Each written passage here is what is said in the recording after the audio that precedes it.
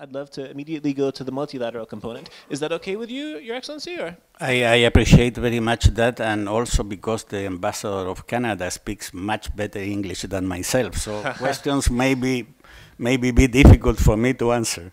Excellent. So then, uh, if the panelists would agree, I would suggest maybe if you could join uh, the, the ambassador. You can you can stay there if you'd like. Uh, the panelists uh, and also the chairman, uh, Mr. Yasar Yakis, will join you as well. I will say maybe just two words of uh, introduction about two speakers who you have not yet had the chance to get to know as the panelists make their way to the panel.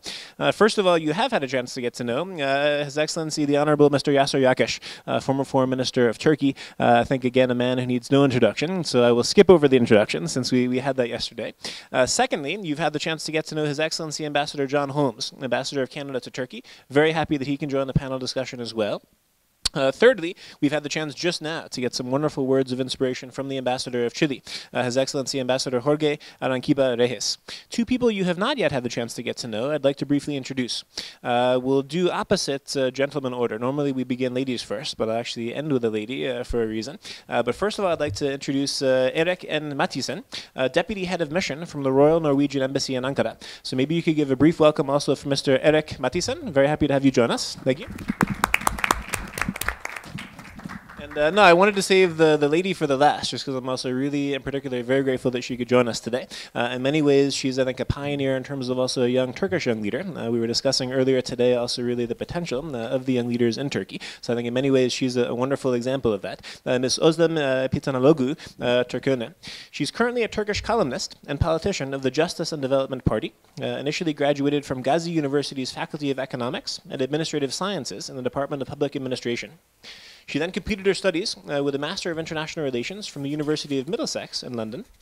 Then she was a member of the Grand National Assembly of Turkey, TBMM, and between 2007 and 2011 was the member of the Parliamentary Assembly of the Council of Europe. She's currently, as I said, working as a columnist in Turkey and as a politician in the Justice and Development Party. So if we could also give a special introduction for Ms. Özlem Piltanoğlu Turköne. Thank you. And now I'll hand it over to our chairman, uh, His Excellency Mr. Yasar Yakis. Thank you very much. I will not make introductory remarks because uh, we are running out of time and uh, I will give the floor directly to Özlem uh, Piltanoğlu. You may have thought that she came here to participate in a beauty contest, but she did not. She came only to participate in the panel. You have the floor.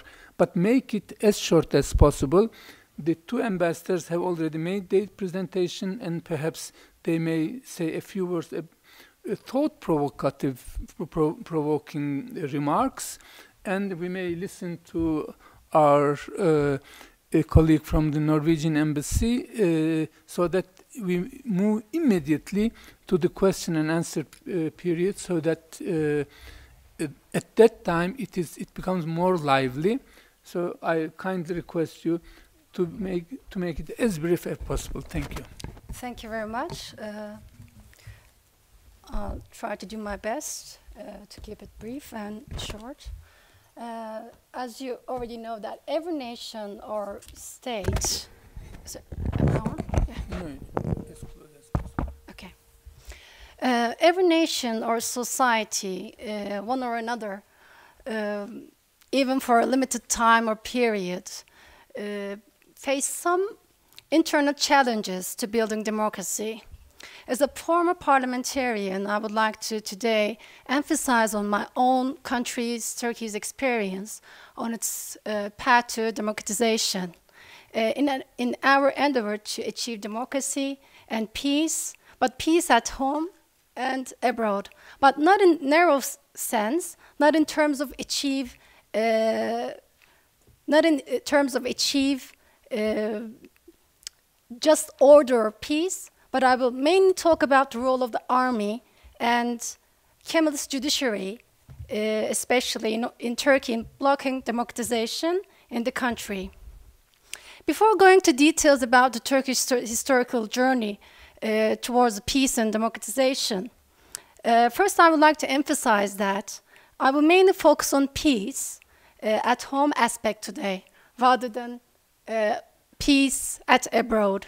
And I would like to also emphasize on uh, the understanding of Johan uh, Galtung's famous distinctions about peace. Uh, negative peace or positive peace. And when we say negative peace, we always actually focus on not having any kind of uh, violent, uh, the absence of violence. But when it comes to positive peace, it means that not only having a violent or conflict, but also including coherence, collaboration, cooperation, existing different uh, groups or states. So in this sense, peace in a deeper sense involves justice and uh, democracy. And in this presentation, I'll actually try to focus, uh, interchangeably I use democracy and peace in a positive way. As already known, uh, Turkish military played a key role in the nation building process, hence the modernization era also stimulated by the army. And it can be argued that having a role like this, the military elites from the very beginning of the Republican era till the, to the last few years had not been experiencing any appreciable uh, difficulties in placing themselves in the political life. Unlike its counterparts in Western societies, Turkish army has considerable uh, amount of political and institutional autonomy, which ultimately leads to emphasize its role in guaranteeing, guarding the state from internal enemies and sustaining the security of the country and order in the society. One can uh, trace this autonomy and power uh, in the history, find its roots in the Ottoman Empire, Ottoman heritage. Uh, with the dissolution of the Ottoman Empire, the army placed itself in daily politics and uh, with administrative motives.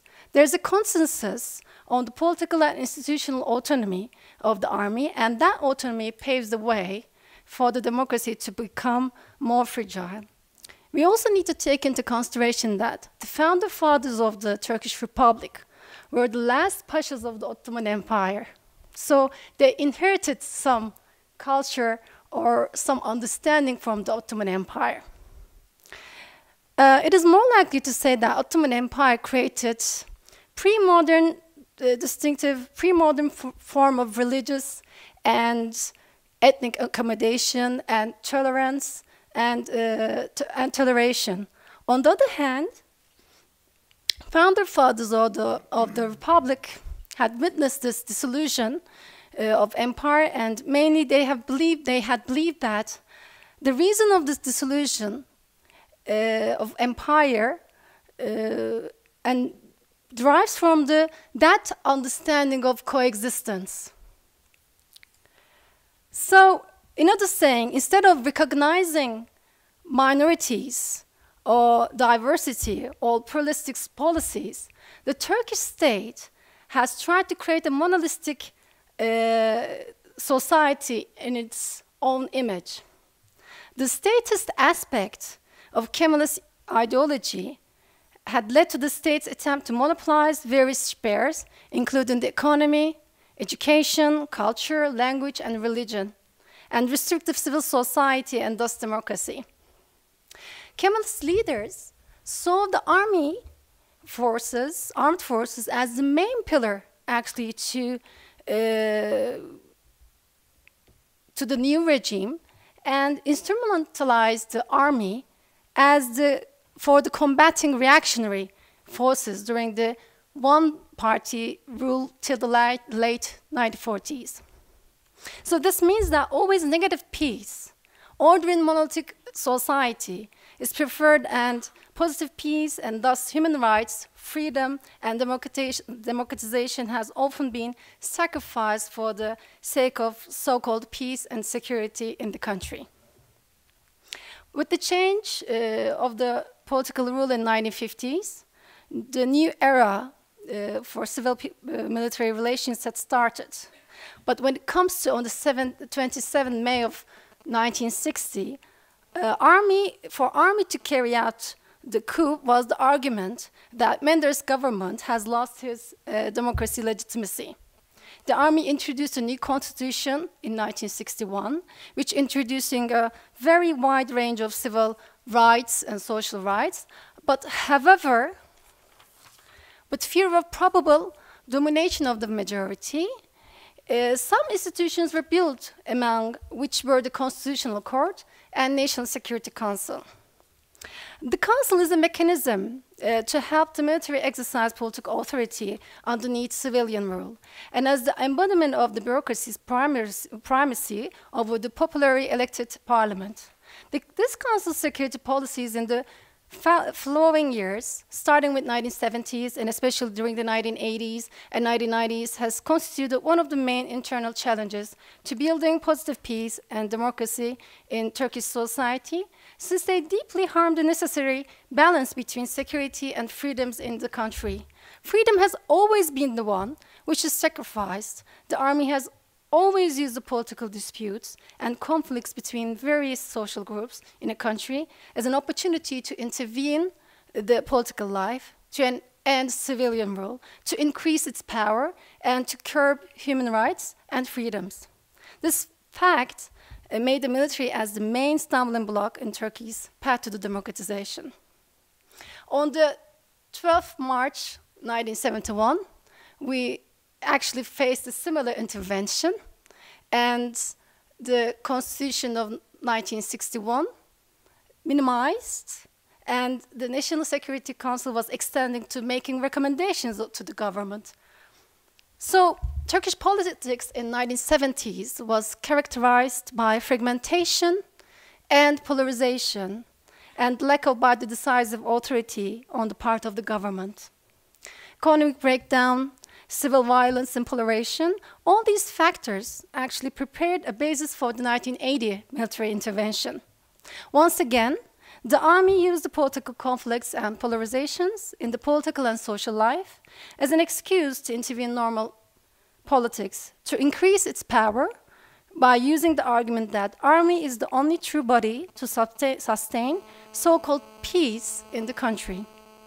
However, what they provided was basically negative peace, simply order, but not real coherence, collaboration, harmony and pluralism, social understanding, freedoms, and democracy. So all these were missing within the Turkey society until recently was dominated the society was basically militarism, pressure human rights violation, and democratic deficit. The 1980 military coup made the state apparatus become militarized in all dimensions, besides making the army a lawmaker uh, authority. The universities put under tight centralized control through the higher education authority. And also National Security Council status was enhanced, and its recommendation will be given to priority consideration by the Council of Ministers. The 1982 constitutions, which reflects uh, the crucial patterns of that period, limited the basic rights and liberties, limited the scope of civilian judiciary branch, judiciary branch, besides threatening the political autonomy of the military. It was not designed to protect its citizens' rights and citizens uh, and freedoms. Instead, it is designed actually to protect the ide ideological state uh, against its citizens. As an exa as example, a constitutional court's decision uh, to disband Kurdish nationalist and Islamist uh, political parties. The paths going through the 28th February also uh, needed need to be evaluated, and the strengthening of the Islamic factors actors in po both political and economic spheres, uh, which started as a result of the Özal's policies, led to the variation of Islamic uh, identities in terms. Besides economic identities in the 1990s, uh, witnessed the emergence of ethnic and religious identities. In the result of that, in 1995, uh, at, at, the general elections, Welfare Party, uh, as the winner party, created a very considerable amount of tension in many civilians and uh, in military circles. Uh, these people claimed that the Welfare Party did not actually believe in democracy and secularism as the whole, sole characteristics of the regime. So the military intervention actually didn't throw away the democratic uh, mechanisms, but whereas making its function under military tutelage. To do that, military elites used briefings, conferences, civil society organizations, campaigns, media and judges support, and uh, regularly organized public declarations which were addressing to the threats of political is Islam and Kurdish nationalism against the survival of the state. So although the main legacy of 1980 coup in today's Turkey is the current constitution, the dom domestic dynamics of Turkish politics have obviously been influenced by several uh, international factors, especially Turkish application to the European Union. A significant step about the democratization of civil-military relations was taken in the late 90s. Military judges uh, were removed from the state security courts, and especially after October 2001, uh, so many amendments made to uh, change the structure of the National Security Council. And when it comes to the September 2010, the Turkish electorate voted by a landslide to approve a package of the amendments, uh, 24 amendment of the constitutions. And one of these amendments is to make it uh, more difficult for the constitutional court to dis dissolve uh, political parties. Uh, since its foundation in 1963, the Constitutional Court uh, has closed 25 political parties, uh, while the rest of the long-standing democracies and Western societies uh, uh, in Europe had only closed four parties. So in this sense, constitutional court especially and the judiciary under the influence of Kemalistic ideology can be considered as one of the main historical internal challenges uh, blocking the democratization process of Turkey.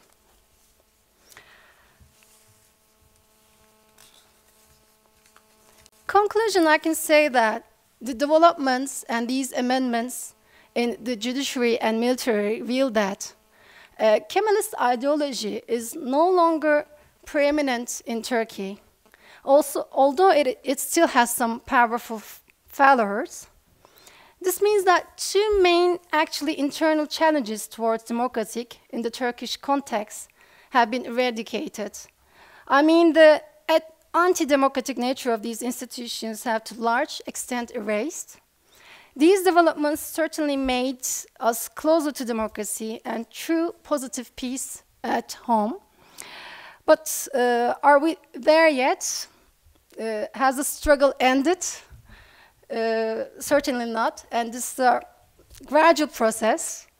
Uh, yes, we've been taking a vital uh, steps, but there is still a lot to do, Uh, as not all challenges to uh, democracy are erased, and as well as new internal challenges can always uh, emerge. And from now on, so many political parties in Turkey, whenever there is a need for the reforms, they use an excuse and refer to the Turkish army as an obstacle uh, on the way to these reforms. But after these amendments, even the constitution is still based on the uh, aftermath of the uh, 1980s coup. But these days, no, no government, no longer government can actually use this as an excuse and every responsibility is, I suppose, are, is under the shoulders of, uh, on the shoulders of uh, the government, uh, because the the path to the democratization, uh, so many uh, obstacles like uh, institutional ob obstacles like the constitutional court or the National Security Council now changed its form. so I believe that now the task of the governments are much more difficult than before. Thank you. Thank you very much, Mrs. Piltanoğlu. It was a very thought-provoking uh, statement, and I hope that you will be bombarded by questions. and uh, we are now 15 minutes to the lunchtime.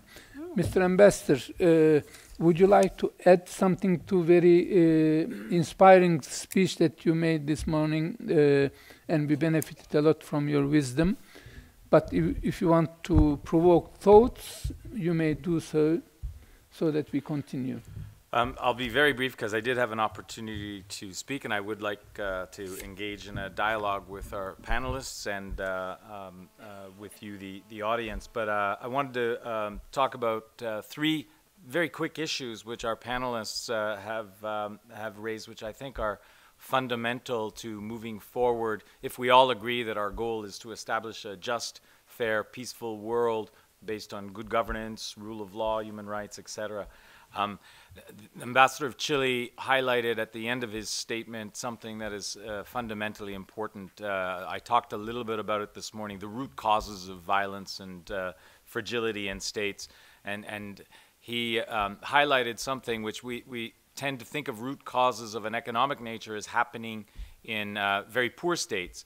But he highlighted in middle income countries like, like Chile, and it's very much an issue in the EU, in Canada, and US uh, the growing problem of income disparity and how you deal with that issue. And even in rich countries, you are seeing uh, pockets of poverty and uh, a high unemployment where people are no longer able to get jobs. So uh, I welcome your discussion on that uh, very important point.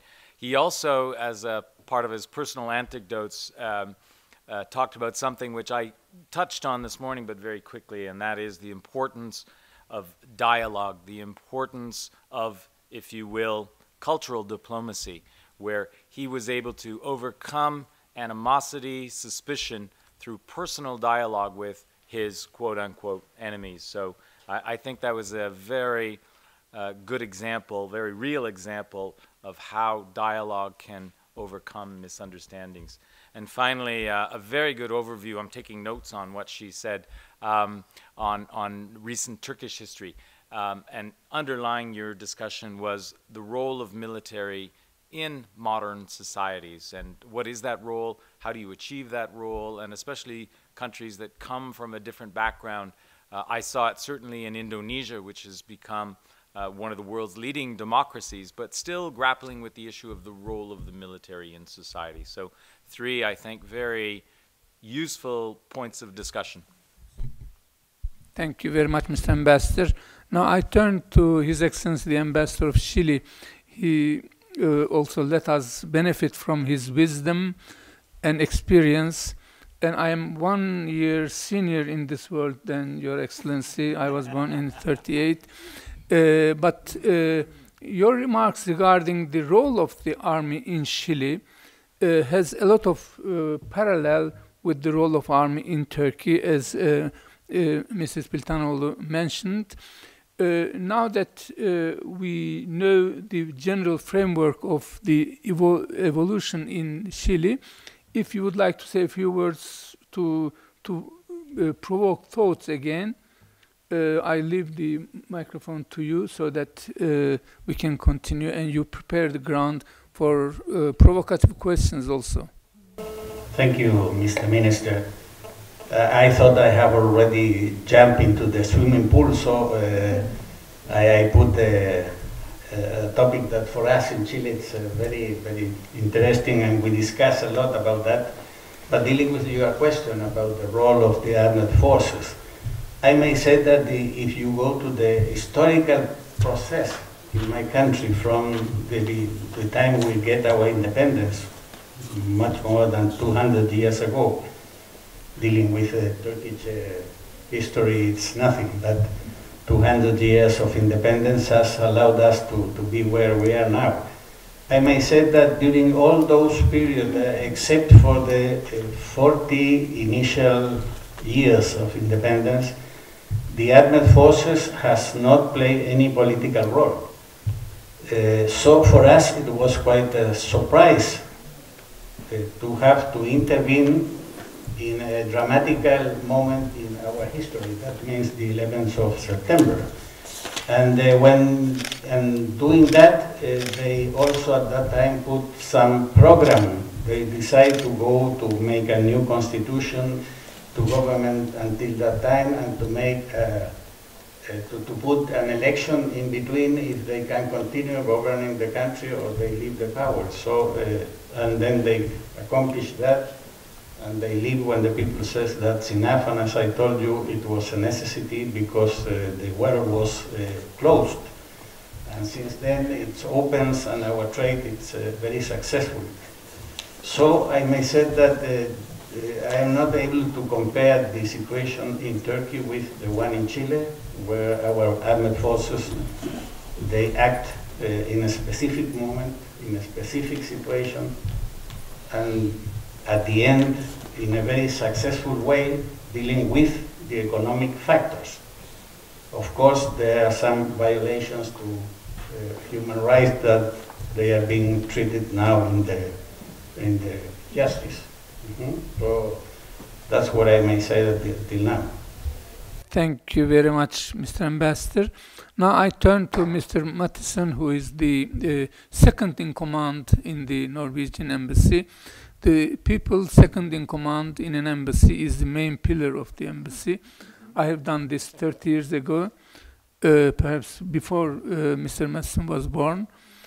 And uh, I know what a difficult task is and how influential it is on what the em embassy is doing. Uh, since uh, Mr. Mathisen did not address to the audience beforehand, perhaps he is allowed to use more time, but uh, I will appreciate if he could be as concise as possible so that we leave more room uh, to the question and answer period. You have the floor, Mr. Mathisen. Thank you, uh, Your Excellency, Mr. Yakis. Uh, it is indeed interesting to be second in command of two political diplomats in an embassy, particularly when the ambassador is away and uh, unable to, to meet with all of you today. But uh, I'm very happy that the Norwegian embassy was invited, so a big thank you to, to ICD and uh, the RE movement uh, for, for organizing this conference.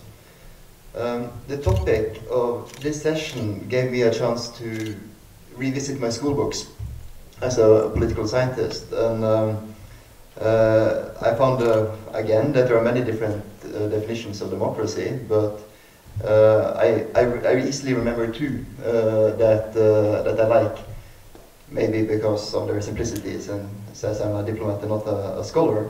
Um, the first one is a very minimalist one, and it defines democracy as a system where parties lose elections. I've always liked that. It's short and snappy and, and easy to remember, and, and, it, and it gives a couple of pointers. Uh, another one calls democracy uh, and elections the institutional wager, the institutionalized bet, if you like. I think you can sum that up as, as democracy being a system where every vote and voice carry the, carry the same weight. Now, the reason I mention these two is that both of them say something about the importance of institutions, and both of them also indicate that building a democracy or consolidating a democracy is a process that takes time. Um, the ambassadors have focused on uh, or mentioned uh, the importance of dialogue, and that is the, the main, uh, main uh, area of focus also for, for uh, my short presentation, and I will keep it short.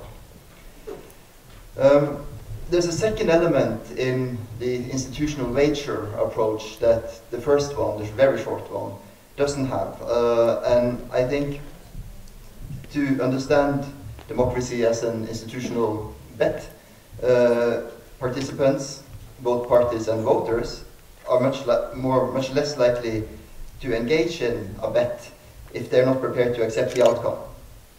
Uh, and the outcome in casting your vote uh, is that you risk ending up at the side of the minority. So you need some sort of trust in minority rights being uh, taken care of, and that uh, and you need respect for your political opponent's voice carrying as much weight as, as your own. And I believe that this calls from for dialogue uh, and for engagement not only the members of your own party or your own social group, but you actually then need to engage those that profoundly disagree with you. Uh, and I'll, I'll return to this in a, in a minute. Uh, we live in a time that is interesting and, and, and challenging, particularly in, uh, in many of the neighboring countries of, of Turkey. Um, there are revolutions happening, and they're happening bottom up. They are also very different from country to country. And the challenges absolutely need to be dealt with internally. I mean, transition processes, uh, transition to democracy, is an internal process. Yet I would also like to, to underscore that the international community has both a responsibility and an interest in engaging positively with the processes in this country. Traditional diplomacy between states matter also in, in, in this uh, context. Perhaps the most important thing that, that we have to address as, as diplomats and, and more importantly for our politicians is to avoid setting double standards. Um, and we also have a toolbox where there are both carrots and, and also sticks, uh, and, they, and they should be used wisely. Uh, my own minister, Jonas Gahr he, uh, he makes an effort to be a proponent of dialogue, and, and when he travels, he wants to meet as many sites and, and groups as possible in, in the countries he visits. Uh, sometimes we also try to bring groups together and meet them all at the same time. Uh, and I wanted to share two quotes from one such dinner which took place very, uh, relatively recently in, in our country in the region, uh, where we had guests that were moderates and not so moderate and uh, belonging to majority and uh, the majority and, and also to, to several minorities. The first quote came from one of the dinner guests and he said, um, you know, we only sit around the same table when we have visitors from abroad. The second quote was a response to a question from my sometimes very blunt boss. Uh, when, when, when, uh, when a guest was asked if he respects his political opponent sitting across him uh, at the table. It was a long pause. And then he, I don't know if it was reluctantly or not, but answered, not really. Now, there are no shortages of reasons why different groups in transitional democracies or you even say established ones uh, don't trust each other or even respect each other. Uh, but my point is that this does represent an internal threat to democracy. Um, in Norway, we also find that there is a shortage of dialogue in traditional diplomacy between states, but this mistake should not be repeated by actors in transitional democracies. Now, as was also mentioned, transition to democracy is a process where several and very difficult challenges coincide. You have economies that often need to be restructured. You have to meet expectations from uh, population with, with a hope for, for something new, something better. And these hopes keep growing, but the more successful you are in consolidating your democracy, the, the, the, the, better equipped you are to meet them, as as the ambassador of Chile has, has pointed to. Um, and you also need to establish institutions at the same time. Uh, and and this, the overlap of, of, different processes can indeed be a, a, source of instability. That's why it's vital to, to try to make the pie bigger rather than smaller, and as much as possible try to avoid zero-sum game thinking. Uh, and again, without respect and, and dialogue, uh, this becomes much more difficult. So uh, three short points on concluding why I don't think uh, talking about talking is, is naive, because it is usually or quite often uh, seen as such. Um, first of all, there are many, very many different ways of talking to each other. A dialogue can happen in very many forms, uh, on different levels. You don't it, dialogue doesn't have to start with the leaders of political parties sitting in a room and having to go and face the press immediately after. Uh, and the key is, I think, in my reading, to engage groups in a process and then build on that. Uh, a Norwegian experience when it comes to dialogue uh, as a main component in our diplomacy is also that we see that engagement does foster responsibility uh, among the actors. Second, uh, is that it's possible to leave the table. Uh, you can walk away from the talk. and third and finally, by talking, you accept that your political opponents have a right to, to advocate their views this is something that you will have to face sooner or later. It's a prerequisite for a consolidated democracy, uh, and, uh, and, and it's a part of building a political culture uh, that should also include civil society. Thank you. Thank you very much.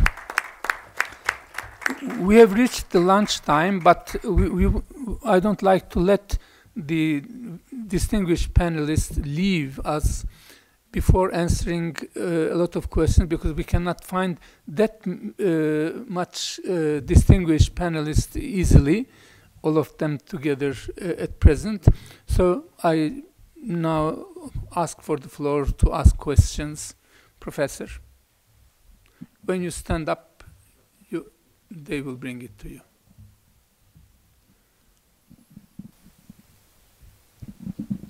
Thank you very much uh, to all panelists. I'm Alp Özerdem from uh, Center for Peace and Reconciliation Studies at Coventry University. Um, your interventions uh, about transition, transitioning to democracy uh, seem to me that what it was mainly um, in lines of institutional level. But I'd like to bring another dimension to that, and that's this sort of transition at the social level. Demilitarization of minds, demilitarization of society and I think that's a really important issue because you can deal with the institutions, but how are you going to deal with the society? And uh, the reason I'm bringing this point is when you look at the, the, trial of the 1980 coup, I also remember people who welcomed 1980 coup. I remember people who filled the public squares, you know, cheering for the leaders of the 1980 coup. So there is an element of society supporting, you know, that kind of military power and the military presence. So my question is, what does the panel think that we should do for the demilitarization of society and demilitarization of minds? Thank you. Thank you very much. In Turkey, uh, the families do not give away their daughters to, for people who did not serve in the army. So the army is an institution which makes people the real men. So, but I'm sure that uh, our panelists will respond to your question in a very important manner. Yes, please. Thank you. It's a very good, actually, comment and a uh, question. I suppose it's on, yeah. Uh, of course, I cannot remember people cheering at the streets. I was very young at that time. but uh, I know that from the books and from, uh, uh, from old people, they transmitted their experience to me. Uh, but I believe that maybe after having a very uh, intensive violence, people might just welcome not having any kind of violent and, and at least living in a negative peace context. So that's why in my presentation I try to focus on uh, how actually military use the negative peace to uh, take all the control of the country. Uh, and what the governments needs to do need to do is to enhance and improve and support to, uh, to establish the positive uh, peace uh, to, to have collaboration, uh, to have cooperation, to give at least a little bit breath for the religious groups, minorities, or uh, some discriminated uh, groups. Um, and well, what you said about the mind the, uh, of the militarized, militarized minds, that's definitely uh, exactly right. And I can give you one of example uh, about the survey which actually done maybe three or, or four years ago, TESEV, uh, about for the judges and uh, prosecutors. And the question uh, to the judges and the prosecutors were very important and distinctive.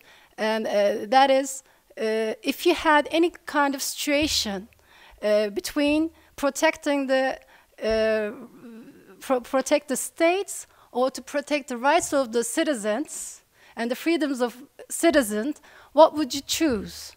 And it's really interesting that the majority of the judges and prosecutors, I can understand prosecutors because their mind is definitely, of course, partial to protect the state, but I cannot understand what judges answered. I mean, and, and majority of the judges said they uh, prefer to protect state rather than individual's right. So that's a clear indication of that uh, militarization. Thank you. Thank you, Mr. Ambassador. Yes.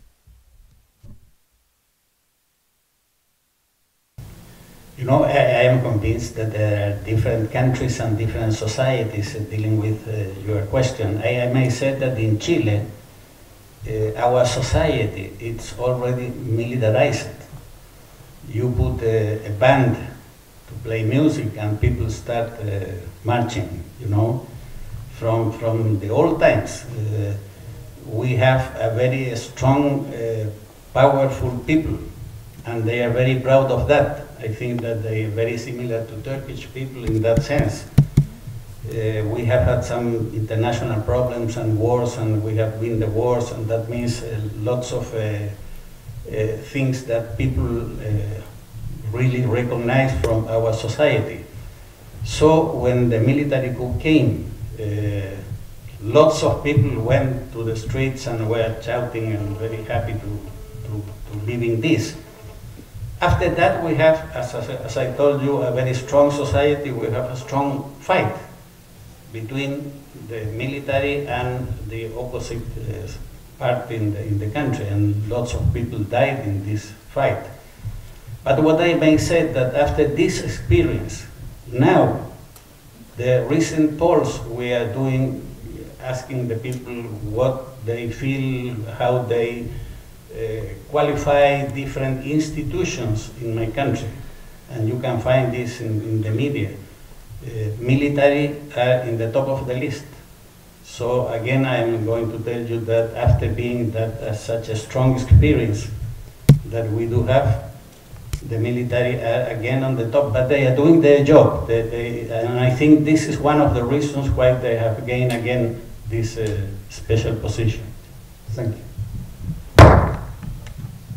Very much. How does it work?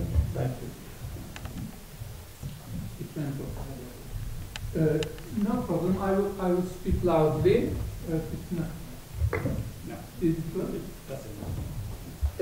It now it works. Yeah.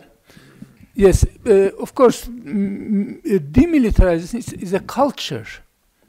It is not changing institutions or changing le legislation. You could change legislation overnight, but culture takes longer time to evolve. It, you cannot change culture, you can let the culture evolve. So by preparing the ground, by institution making or, or passing laws, you may uh, prepare the ground for the evolution of this culture in that direction. I think this must be very important. So uh, now, uh, positive discrimination in favor of ladies. Um, excuse me, I've been just waiting since the um, High Excellency of Chile um, for, I have comments, I have questions as well, and food for thought as well. I'm to say I'm working as a political psychologist in Lebanon for the for UNDP the, for the national um, process on dialogue. So there is a national dialogue process going on. Um, for the High Excellency of um, her um, Holmes and also um, Mathisen, thank you very much for insightful view. According to the funding structures, we can see that within your foreign policy, which sort of guideline um, you fund and support. And um, I think when it comes to culture of um, demilitarization and the evolution of culture, of course it's taking a long time, but living in countries post-conflict countries and also countries where who, who can be who can be named and labeled as post, as conflict countries without having a conflict which is violent. So having a psychology of polarization and fragmentation today in Turkey from the individual, intra-individual and societal level is for me a conflict country.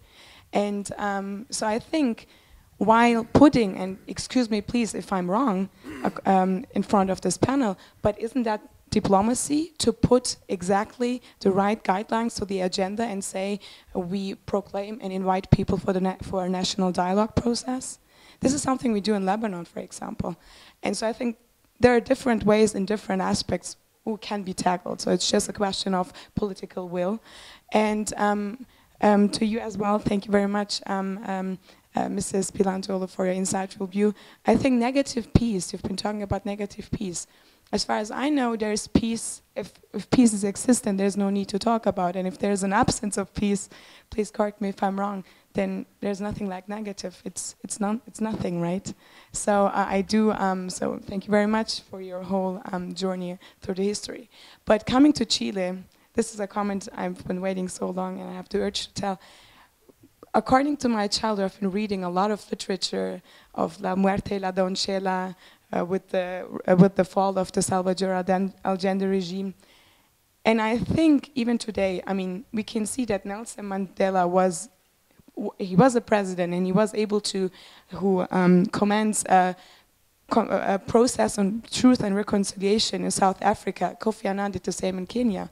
So why we don't have that in Chile? I would like to have, have your inside view on that. So if you're, if there's not a room and a common space where people are able to gather and mourn, there's no way to forgive for them. And I think this is something that um, it's not the peacekeeping, it's the peace building, and this is generally the true and honest way of inviting to a dialogue. Thank you very much. Uh, it was, uh, it is addressed to all of them. Perhaps uh, the distinguished panels may uh, wish to comment. But uh, regarding the negative peace, of course, what is meant, most probably Mrs. Piltanoğlu will also, uh, may also wish to comment on it. It is an oppressed peace. There is peace. Nobody is demonstrating around. Nobody is killing each other. But it is as a result of oppression that the authorities put on the society. That is the negative peace. Most probably this is what she meant, but uh, I do not want to uh, substitute myself uh, in her place. Uh, would you like to comment, any of you, uh, uh, on the this charming lady's very thought-provoking comments as well? It's a very thought-provoking comment, but I would like to once again actually underline uh, what John uh, Galtung's definition, uh, distinctive defi definition about peace, and, and uh, that is his uh, definition and division of negative and positive peace, which I really uh, like to follow when I'm thinking about my country's historical background uh, when it comes to on the path to democratization. Uh, not having violence doesn't mean that you, you're actually feeling the full peace uh, in your society. Sometimes pressures can be very, uh, uh, could be applied in a very indirect ways. Uh, you cannot see it tangibly in everywhere, but you can feel it some, somehow. So I believe that during the uh, after and during the military coup and afterwards, like after the post uh, postmodern uh, interventions, we feel that there isn't any kind of direct interventions to the democratic mechanisms. no military soldiers or any any actors directly involving in the uh, mechanisms and ruling, uh, like judiciary or executive bodies or any kind of legal bodies. Uh, but you can feel that they use some media uh, structures, some organizations, some kind of uh, conferences. Deep state and again. deep state again is just somehow surfacing by using different tools rather than directly involving like uh, 1960s uh, coup or 1980s coup. We can divide actually. Um, I mean, if you look back to the Turkish uh, coup history, we can mainly say that we have two different uh, kind of military interventions. One is a kind of guarding uh, regime coups like 1960s and 1980s, directly uh, try to change the system, directly uh, intervene uh, and uh, rule for a couple of years, for certain years, and also to try to build the new system, to, introduce new constitution and legalize it and introduce new institutions to protect the regime. So this is uh, the one. And the other one is kind of veto regime rather than directly intervening. Uh, postmodern uh, coup in 28 February is a very crucial example to that. I mean, you just veto it. You have some path, a roadmap for the country, and if there is any kind of uh, governments or political actors trying to be out of the track of this line, then you veto it somehow, uh, intervene indirectly, and put these all uh, actors, political actors, uh, back to the track again. So it's a veto regime. So when I say that it's a negative peace and positive means uh, peace, I try to actually emphasize not having violence is not enough. It's the society needs much more things uh, to actually uh, feel uh, the peace. So, thank you. Thank you very much. Mr. Ambassador, do you want to make comments? Yes, I think I may. I, I was mentioned twice or three times in your presentation, but uh, I, I, I, don't think if I understand well what you asked. Uh, but anyway, I will try to, to, to give an answer. Uh, I, I, I, I think or I feel that in your question, this was something dealing with uh, that we have not uh, achieved yet.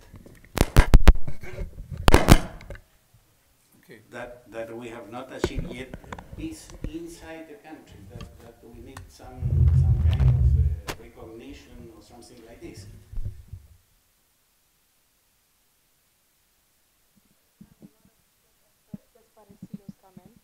So what I mean, there. No, no, no. I, I think it's okay. Uh, you have the uh, La Comisión de Verdad y Reconciliación, and but you still have a lot of desaparecidos. So what I'm asking is, there's also many NGOs fighting for um, fighting um, very similar to Turkey um, to find the, the disappeared ones of their family members. I'm saying, how is it there anyway? I mean, I can't see it, but you're the insider, so um, I'm directing it to you. Whether there's any chance within a time frame of 10, 15 years it's going to take that Chile's government, you see any, because we've been talking about the psychology of change, peace peace is all about that actually. It's an attitudinal change. So is there any hint or any hope for going into that direction um, that people may open it up? Because if you open it up, it's going to cause a lot of pain at, at the same time as well. Yeah, got my point? Perfect, thank you. Uh, my, my personal experience again, uh, when I was commander-in-chief of the Navy, after the Rettig uh, information that the investigation they have done, that we have two of them, Rettig is one and Valech is another one, we have uh, investigated the number of people that has died, the number of people that was detention, and, and at the same time people that has disappeared. When I was commander-in-chief, we, we, we worked with the government at that time trying to build up the, the truth and finding where those disappeared people were, if it was possible to get this information. Believe me that we try to do our best. Uh, and I put a special commission inside the Navy to try to request from the people that we know that they were in these areas at that time. And uh, we have a very poor answer. So it's something of personal interest, you know, and fear maybe of the consequences of uh, if they are going to uh, receive, if they, uh, the, the, society knows that he was part of some missing action. Uh, and we get very, very few information that we gave it to the government. I am speaking about the Navy. In the Army it was less than this yet. Uh, and uh, this was the last effort we have been doing in that. When we were doing that, when we were asking people, approaching people that may have know something about that, uh, there were some politicians that says, because we have an arrangement, we says, if I get the information where the people is, I am going to give the information to the government, and they are going to give satisfaction to their families. That was the main objective. When we were doing that, some politicians at that time, I was not a politician at that time, some ones of them says, no, it's not possible. If, if you know something, you must tell who is the guy, and then the information was cut off. We don't get it anymore because sanctions were over the head of those that were giving the information. This is a practical uh, practical answer that I am giving you. We make a specific and very strong effort, but we don't get what we need because people fear that they can be uh, punished for by, uh, what he have done. And uh, what's important is uh, we know that we have uh, some people that is hurt with this experience, and, and this hurt is very strong one. Uh, it's never going to finish in, in their life experience. But uh, at least now we are trying to improve in our society uh, that the, the justice works, makes its work. The, the imperial of law, it's what is running. People that uh, have something to respond in front of justice, they have been facing the justice. Someone, as I told you, in the jail. The other ones are uh, in the process. The ADNET forces are back in their own jobs. And uh, as I told you, the last polls, they put the other forces that has this in their souls, uh, in the top of the list of the preference. I may tell my experience. We try to do, we try to get information about the disappeared people. This is the most important and the most dangerous wound that we have in our society, actually. Thank you very much. Blaise Pascal used to say, the heart has its reasons that the reason does not recognize. In politics also, politics has its reasons that the reason does not recognize. This is what uh, surfaces in the information of both, the intervention of both of you. You have the floor now. I just wanted to briefly uh, thank you all. It's been a uh, very interesting clarification. Um, my is Elijah Bush. I'm a PhD student. And uh, I wanted to ask a question related to the actual title of the, the panel. Um, I am not a diplomat, I'm, uh, and so I, feel like I can ask maybe an ignorant question or maybe a little bit provocative, but internal challenges to building democracy. Um, in Turkey, I think there's some very specific ones that um, when we talk about negative peace, uh, it's not usually sustainable. And I wonder if, if you might uh, take off your badges as diplomats and comment more candidly on um, the prospects for um, things like the, the uh, independent Kurdistan movement and um, a lot of minority groups like the uh, Armenians and the persistent uh, denial of genocide and some of these other topics that I think are significant internal challenges to building a real democracy.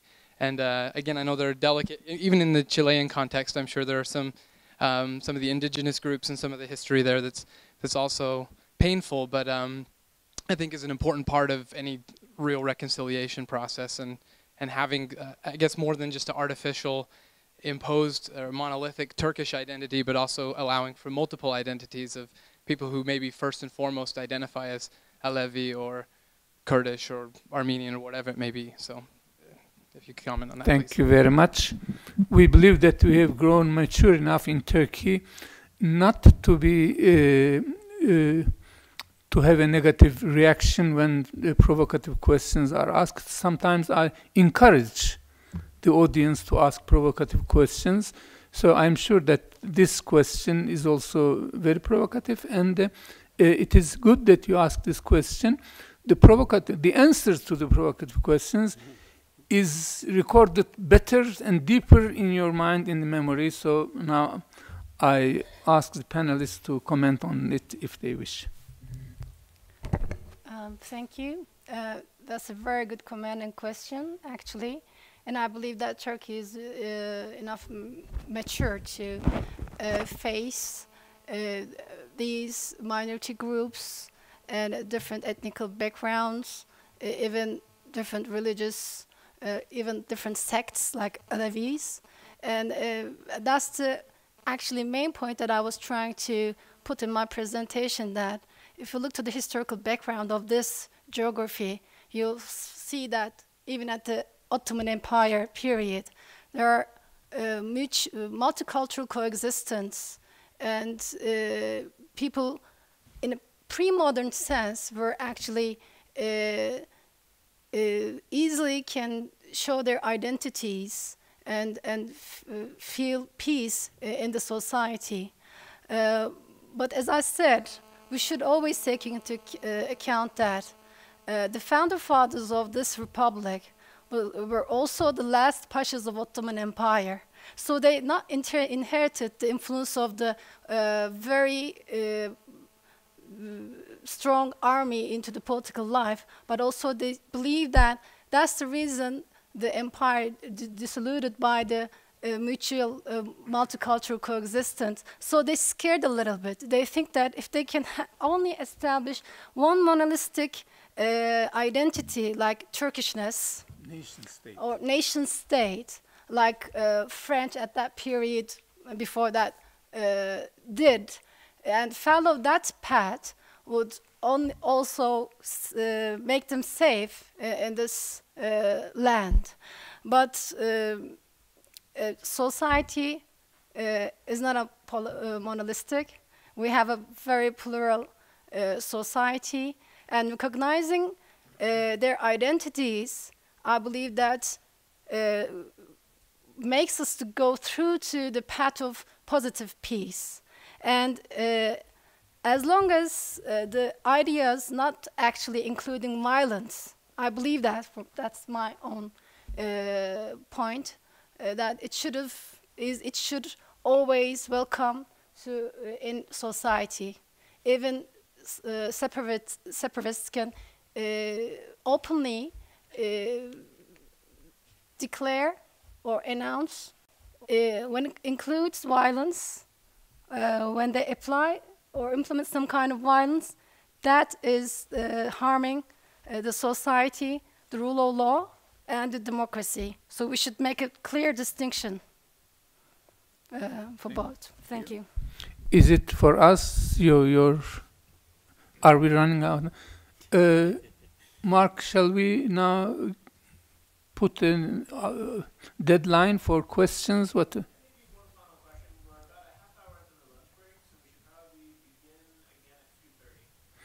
One final question. So I will now perhaps turn to the Norwegian uh, colleague of ours. No, no, it's fine. Thank you. Uh, perhaps, Your Excellency, when you wish to comment on that question, perhaps after this question, you may also uh, answer both if it is directed to you or the the others pan- the other panelists as well. Thank you.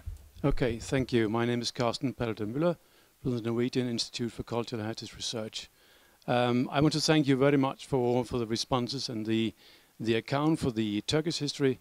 Uh, and I think um, I think there's every reason to congratulate Turkey with much of the process of reforms which your country has been through. Um, there is, however, always a risk when you fight a, an enemy of emulating uh, the, what the enemy has done. For instance, uh, uh, Ataturk emulated the mistakes of the West European nation states in building this monolithic identity in defense of a Turkey which was sort of attacked from all sides. Uh, that's easy to understand. Today, the situation is perhaps that um, the present reform government is doing away with a lot of the um, malignities of the uh, of the Kemalist tradition uh, and building um, a different society.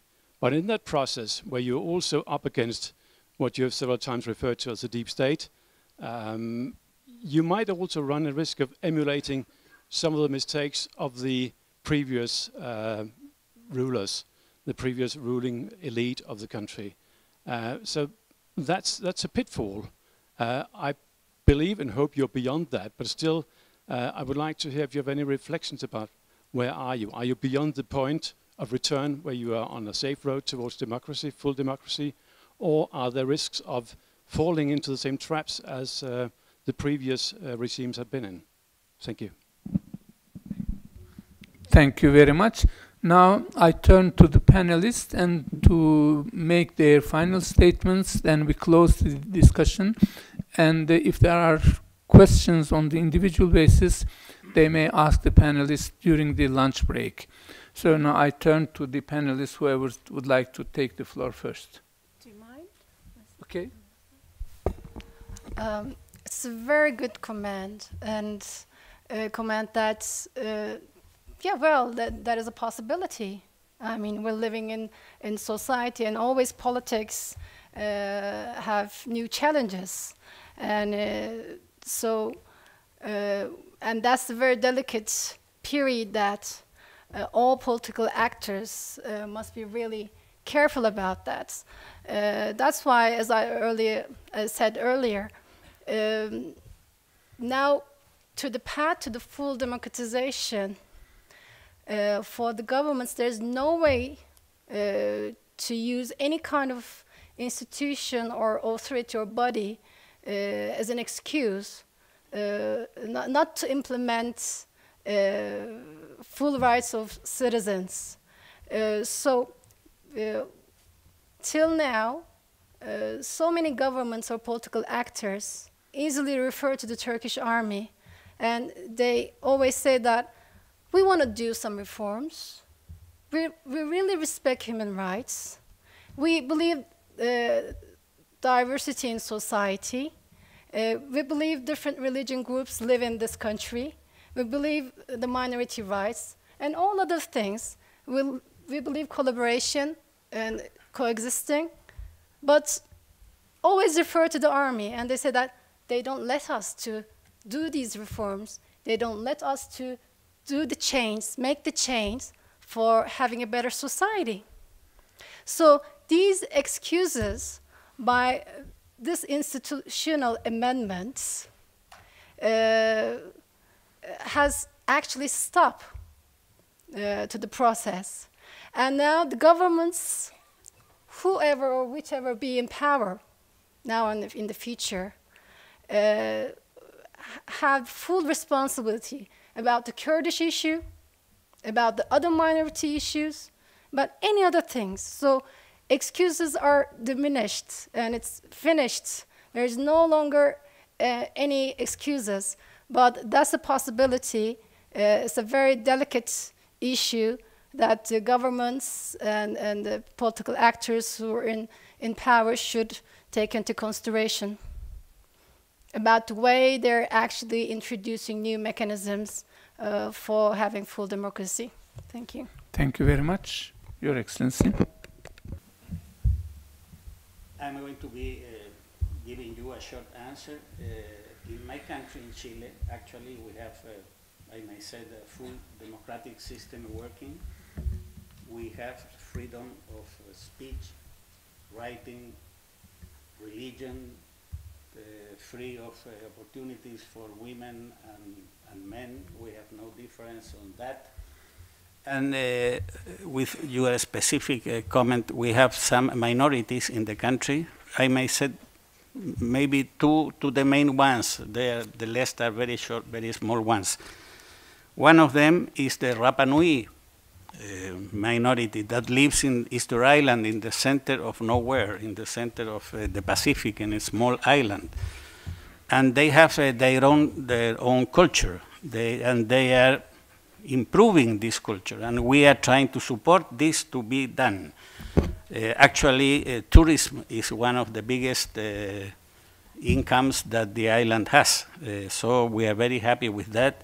We have just get some special laws for them to, to can administrate their own budget and things like that, that they are very, very, they were looking for that for a long period of time.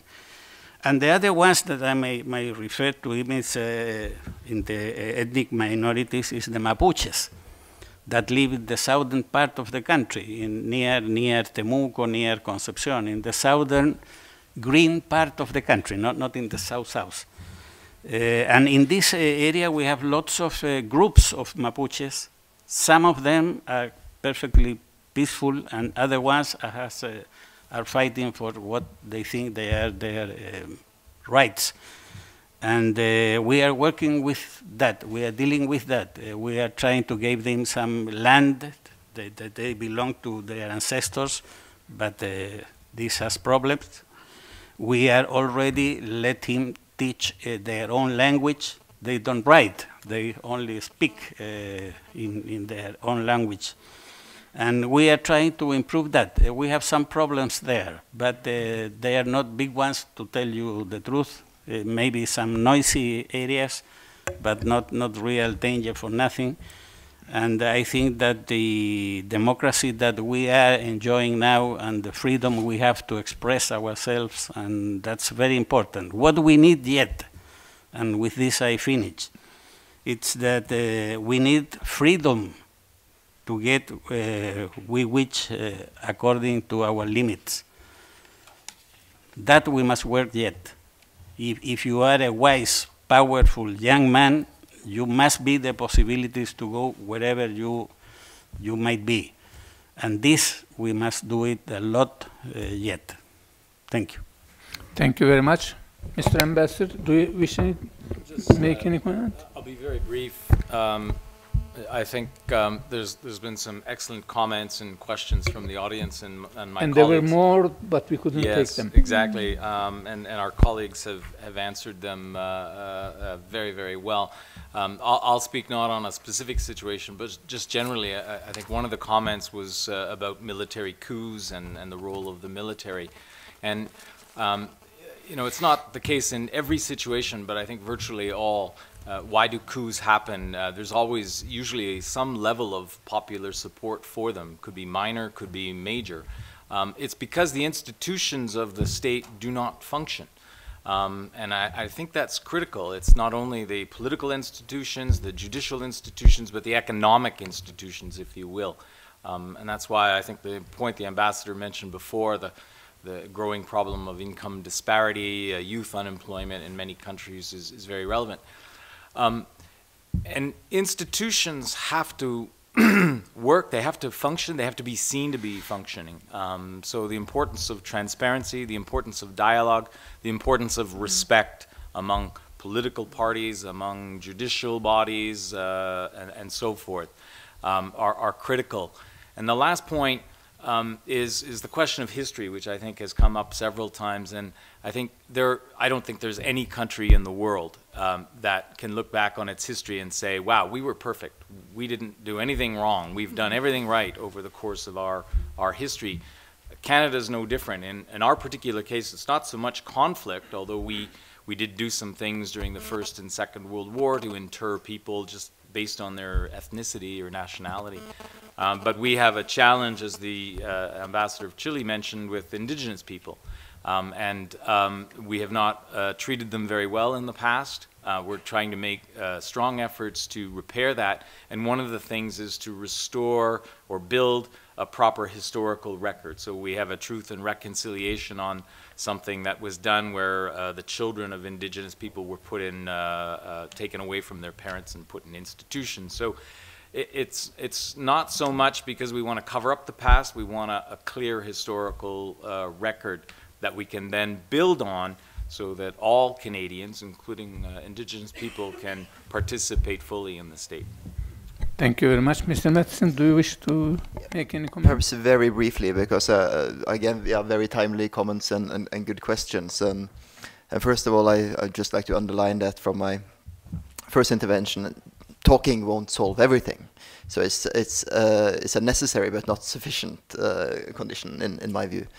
Uh, on Turkey, uh, I've been here for three years now, uh, and I uh, I understand uh, how little I understand uh, better and better. But I've made some observations in the past three years, and that is that new issues come to the agenda in new ways. when the president opened parliament last autumn, he, his main point was to say that Turkey has a constitution that was constructed to protect the state against the citizens. And you, parliamentarians, uh, your most important task before you is to reverse this. You must come together and create a constitution that protects the, uh, the citizens against the state. This is, these are big issues. Uh, and, and, and I think we should also recognize that they are being faced in, in, in Turkey today, and that this is uh, is noteworthy. Similarly, on on uh, what you could call the Armenian issue, uh, it was a very interesting autumn in 2009, my, my first autumn here, where Turkey showed a clear interest uh, in engaging the issue. Uh, and the relationship between Armenia and Turkey today, in my view, and a personal one at that, uh, is that this is not so much about Armenia and Turkey anymore, as it is about, say, Nagorno-Karabakh, diasporas, uh, and so on and so forth. Um, and also on the Kurdish issue, uh, last summer, you know, Turkish newspapers started writing about talks between the state and PKK, apparently in Oslo. And I got quite a few questions about that as a Norwegian diplomat. I could you know, truthfully answer that I don't know. Uh, but what struck me was that the disclosure of the state talking to PKK was not seen as controversial. It did not stir a debate in Turkey. Uh, and Özlem pointed to all the difficulties talking to PKK because they continue to commit terrorist attacks, uh, and ma make them a very that makes them a very difficult partner. But it wasn't seen in Turkey as controversial to actually engage in that form of dialogue. No, there has been other issues later uh, uh, on the uh, Mr. Fidan, the chief of intelligence. I think that is a which has stirred more controversy, but that is, I think, also partly a, a different discussion. Uh, but sitting down and engaging difficult issues, the most difficult issues, and uh, is something that is a part of the Turkey that I have learned to know over the past few years. So, thank you. Thank you very much.